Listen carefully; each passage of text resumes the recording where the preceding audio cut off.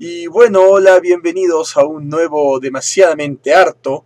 Eh, ya iban como dos semanas que no estaba, que no mostraba, no, tres, cuatro semanas más o menos que no mostraba que tan harto estaba. Estamos aquí con, con mi primo en algunas otras circunstancias conocido como Doctor Dengue, pero que por temas profesionales no, no vamos a referirnos a él de ese modo.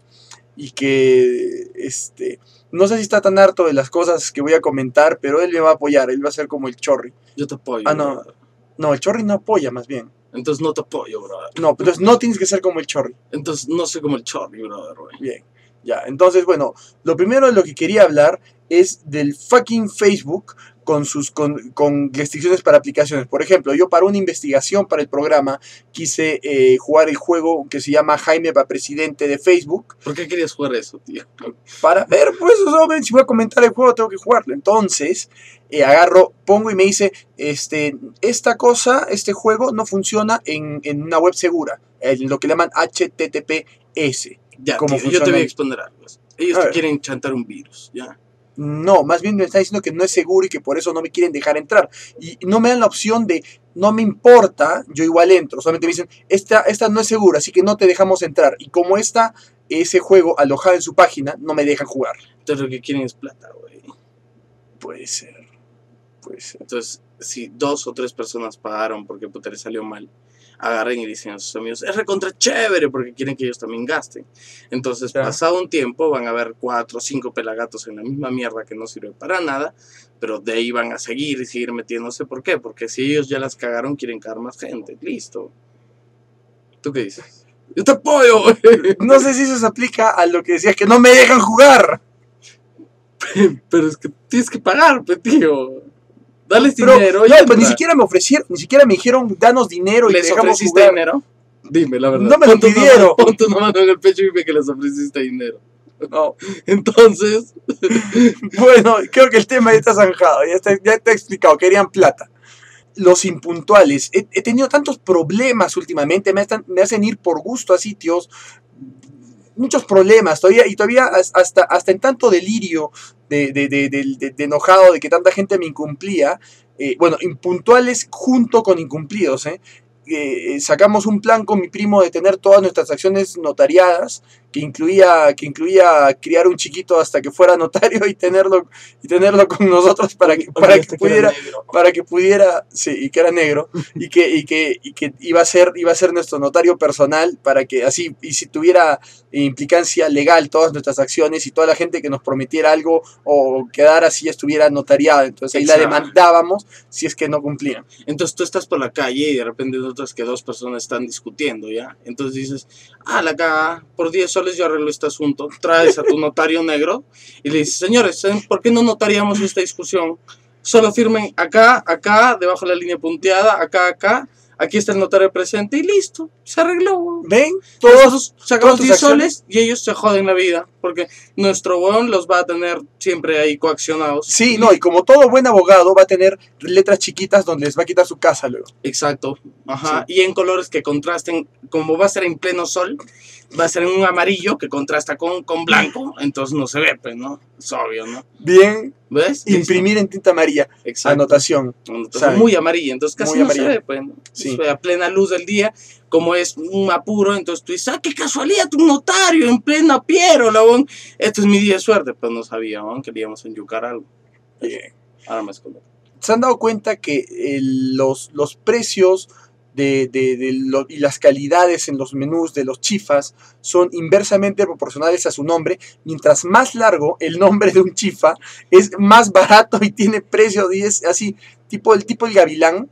O sea, así, o sea, más barato y algo así. Entonces, este, normalmente a los, a los chifas baratos que tienen menús, eh, bueno, eh, platos de chifa de tres soles, así eh, esos se llaman la chinfua del yuwoy, no sé, si largote. En cambio, Por eso, y mientras, y mientras más, más corto, digamos, un promedio de chifa, de chifa de buen level acá, es lo que tienen dos, dos este, nombres, con combinados y cosas a partir de 10, 15 soles, como eh, Cajín, Fong, Mei, Wita y todo ¿Y eso. qué pasa si se llama Fu?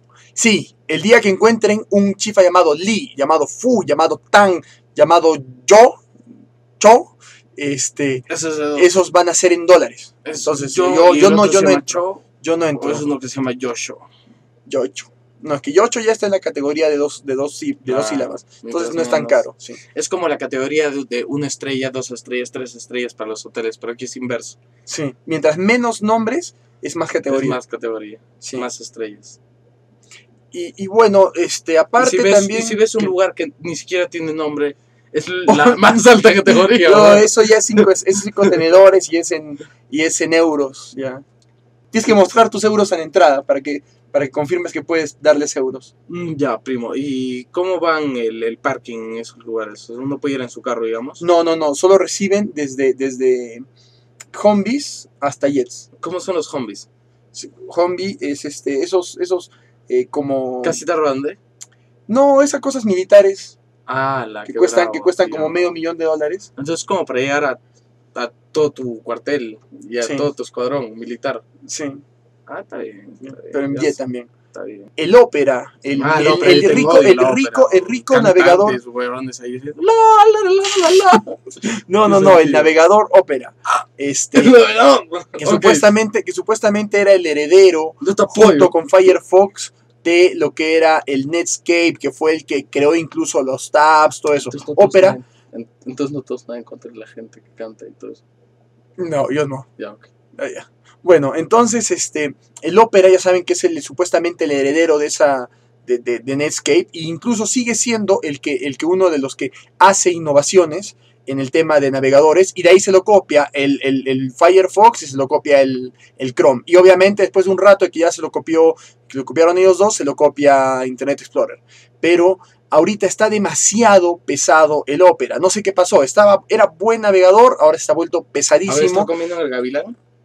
puede ser demasiado gavilán, digo, demasiado pesado.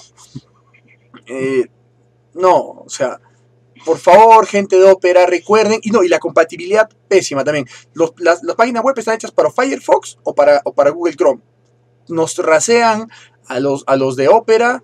Internet Explorer, bueno, siempre van a tener que ser compatibles con Internet Explorer porque todos los que no saben de navegadores navegan en eso. Eh, y bueno, otra cosa como Safari no existen. Ya saben que Safari no existe. Eh, bueno, Entonces, si quieres ir a cazar tu tigre o algo así, ¿qué haces? por navegador, no, no sé. No se puede. Es la aclaración, ya sabes, Bafo, Safari no existe.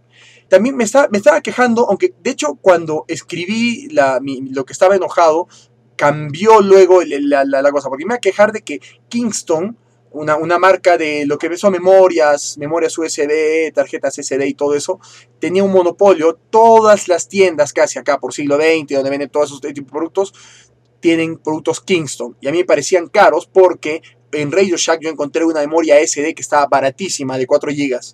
Y no, ya se, se acabaron el stock ahí, ya no pude volver a comprar otra más. Así que fui a ver a siglo XX a ver si, había. No, no había. Y tenían todo Kingston que costaba al menos el doble. Entonces yo le decía, ¡ay, cómo trabaja con una marca tan cara!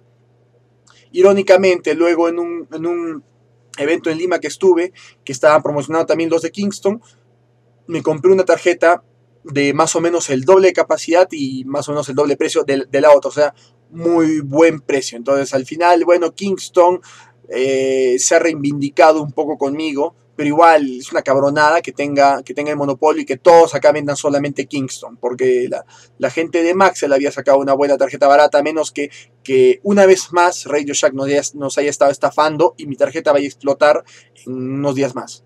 ¿Quién sabe? ¡Yo te apoyo! Sí. Toda la gente a la que trolean in- en internet. La anterior me quejé de los, parcialmente de los troles. Ahora me quejo de la gente que deja que la trolean.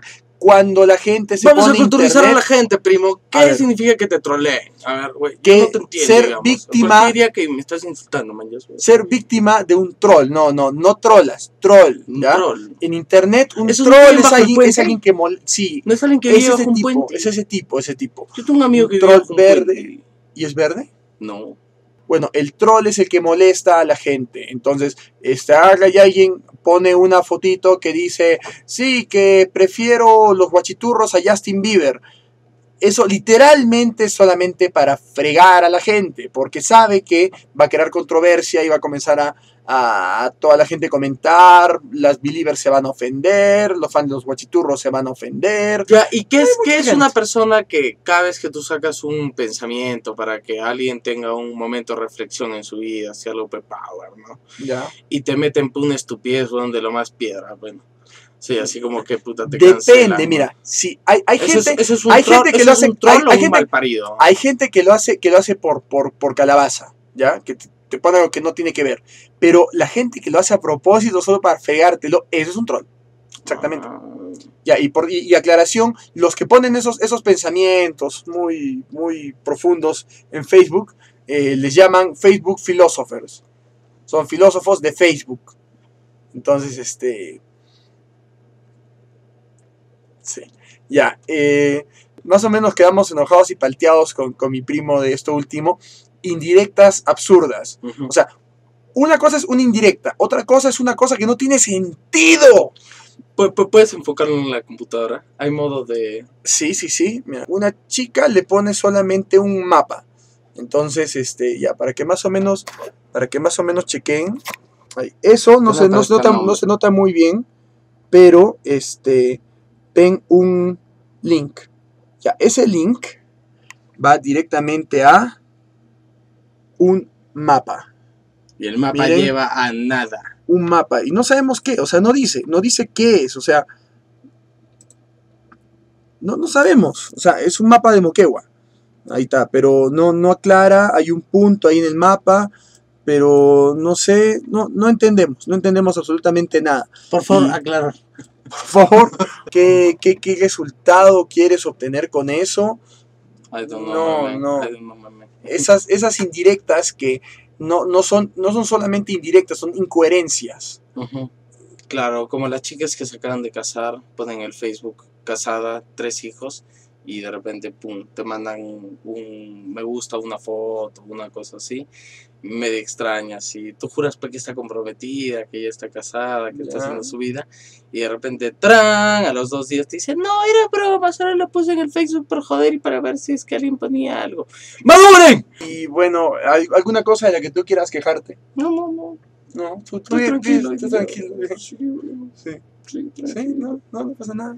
Puta, odio el tráfico acá, weón. Últimamente estoy odiando un poco los adoquines, weón. Socabaya. Puta, la ¿Qué te, mandarina, qué- qué te hecho Socabaya?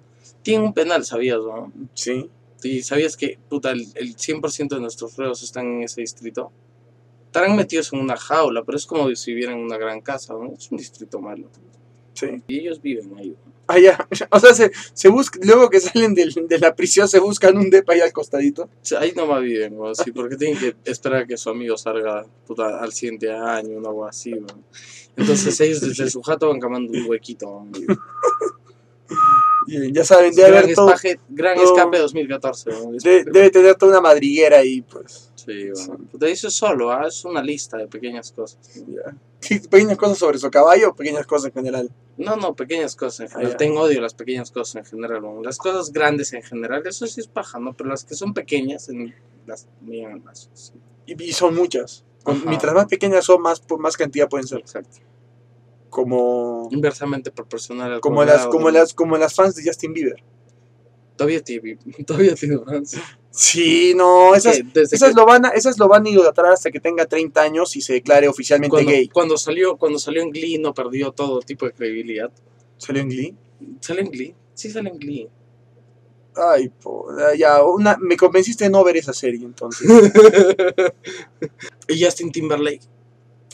Eh, pasó a ser el segundo Justin que odiaba más, así que por eso, o sea, ya, ya, no, ya no es el peor de los Justin. Así que no hay, no hay, no hay tanto problema con Justin Timberlake, que la, la Me película, quema, la quema. última película que, que protagonizó estuvo interesante. ¿Qué ¿eh? más, bro? ¿Qué más? ¿Qué más? ¿Qué? Apágatelo. ¿Qué más? A ver, ¿qué, Bien. qué más vamos a hablar? ¿Qué más? Y bueno, esto ha sido un eh, demasiadamente, espera, ¿cómo era? Harto, ¿sí? Y bueno, no sé, ya no, ya no sabemos ni, qué hablar más porque de hecho me calmé un poco por las cosas que me estaba quejando, así que bueno, supongo que en la, en la siguiente grabación voy a tener un poco más de qué quejarme. Así que aquí Rod Lake y mi primo, el, el no conocido como Doctor Dengue, se despide. No, dije, dije que nunca iba a salir así, ¿no?